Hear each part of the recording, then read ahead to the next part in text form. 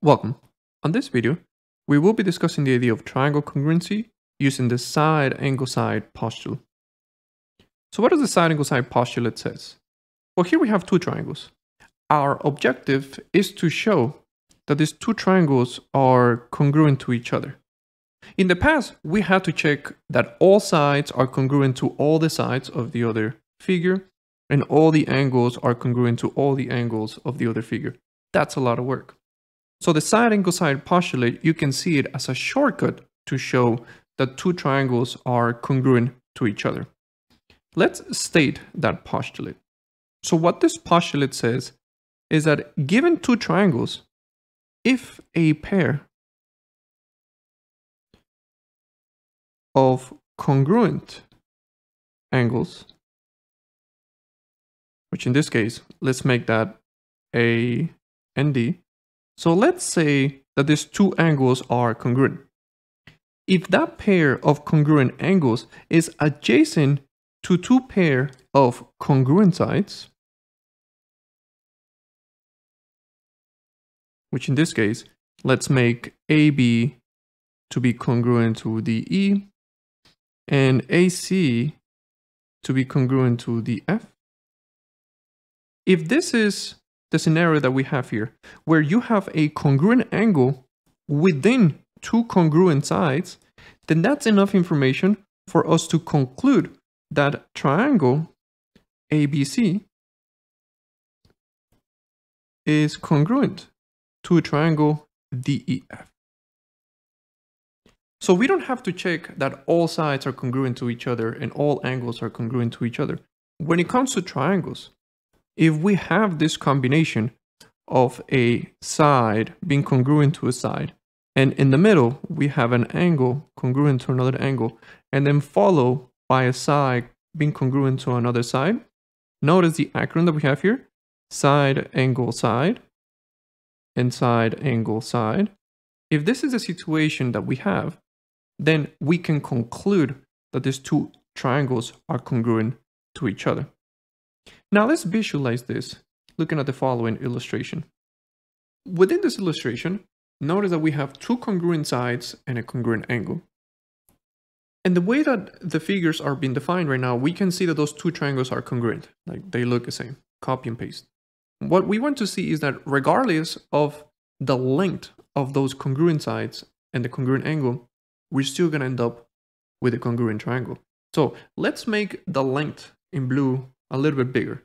So if we make the length in blue a little bit bigger, we have a bigger triangle. But notice that if we make the triangle on the right to be bigger as well, we still end up with a different triangle, but they're still congruent to each other. They look exactly the same.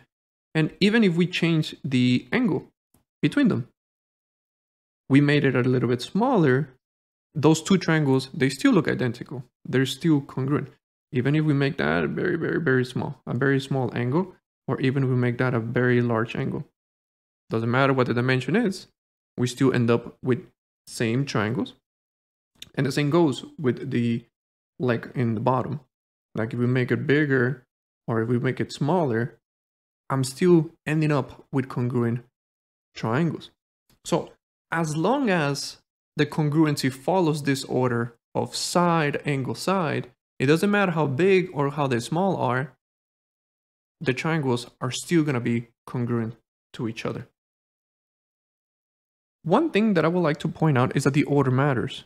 Because notice that in the triangle on the left, we go from side to an angle and from an angle to a side. So we have side, angle, side. And that's the same order that we have with the other triangle. So a congruent side followed by a congruent angle and a congruent angle followed by a congruent side. Side, angle, side. Now, Let's put this idea into practice. Let's take a look at an example here. In this example, what we want to do is we want to state if it's possible to use the side angle side postulate to conclude that the following triangles are congruent to each other. Let's take a look at example A. If we take a look at the diagram here, let's start looking at what information can we gather from this diagram. Notice that MN has one mark, and notice that QP has one mark, so that implies that those two sides are congruent to each other. Notice that angle M is 90 degrees. Notice that angle Q is 90 degrees as well. So we can see that they are congruent to each other. And LM has two marks and NQ has two marks. That implies that they are congruent to each other. So here we have two congruent sides and one congruent angle. This is a good candidate. Let's check if the order follows. So LM is congruent to NQ. So this side is congruent to this side. And then we have an angle followed by another congruent angle.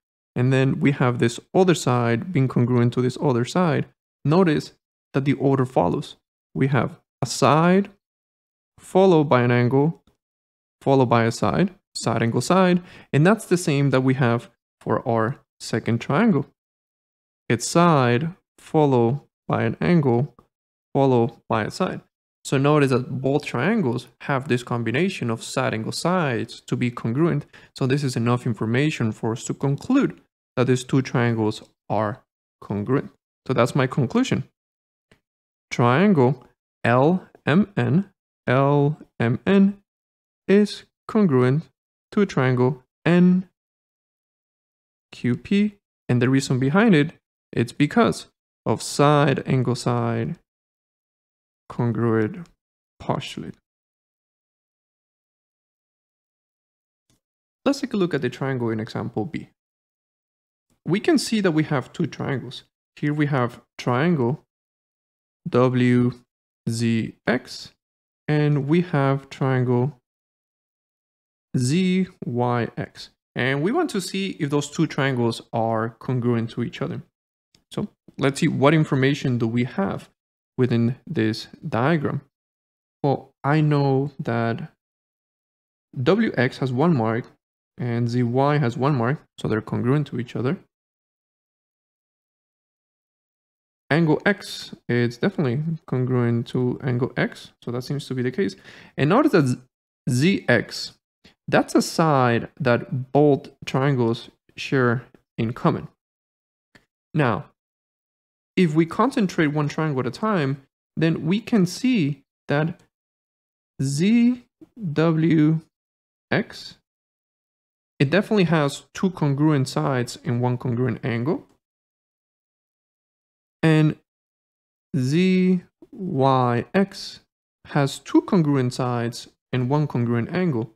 So perhaps this will be a good candidate to use side angle side. But let's check the order. Let's check the order. On the triangle on the left hand side, we have side, angle, side. So this is good for the triangle on the left. So what is the order that we have for the triangle on the right? We have side, side, angle. So we cannot use side angle side. They do not follow the same order. Even though we have two congruent sides and one congruent angle within both triangles, the order does not follow. So what we can say here is that we cannot use side angle side postulate because the order is not of the form of side angle side. So even though you have two congruent sides and one congruent angle, we have to make sure that this order gets followed if you want to use side angle side. And the order is of side followed by a congruent angle followed by a congruent side. Now let's finish up this lesson by looking at one proof. So let's go back to this idea of proving statements. So let's see, what do we have in this proof?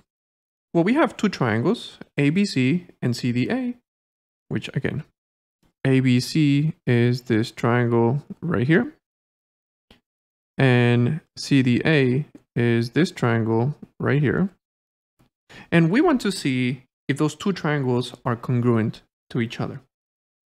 So let's start by stating the givens because that's always that's how we always want to start our proofs. So what are some givens? We know that BC is congruent to DA. And in addition, we also know that BC is parallel to DA. And again, that's a given. Let's see how is that shown within my diagram. So here we have BC and DA, They are congruent to each other. And we have that BC is parallel to DA. Now, another thing that I can see within this diagram, if I take a look at these two triangles, so these are the two triangles that I want to concentrate on. And let me put it in here. So these are the two triangles that I want to concentrate on. I can see that AC, it's a segment that is present on both triangles. So I can say that AC is congruent to itself. So we can say that AC is congruent to AC. And the reason behind it is because this is a reflexive property. So reflexive property. And let's pause here for a second. Because what we have so far is that this side is congruent to this side. And we know that this side is congruent to itself. Well, what if BC is parallel to AC?